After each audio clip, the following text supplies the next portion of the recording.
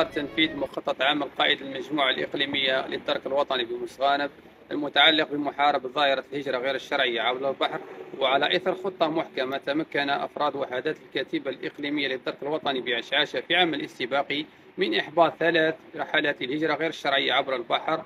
ثم على إثرها توقيف 19 شخص من بينهم 12 مشتبه فيهم كمدبرين. مع حج اثنين قوارب مطاطية اثنين محركات مبلغ مالي بالعملة الوطنية يقدر ب 21600 دينار جزائري. مبلغ مالي بالعملة الأجنبية يقدر ب 700 أورو. ست صفائح بنزين 11 سترة نجاة 12 هاتف نقال. سوف يتم تقديم الموقوفين أمام الجهات القضائية المختصة بعد الانتهاء من التحقيق.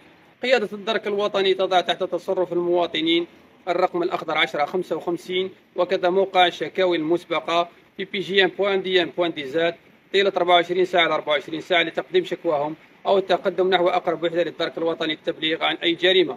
وكذا الرقم 103 للتبليغ عن الاختطاف.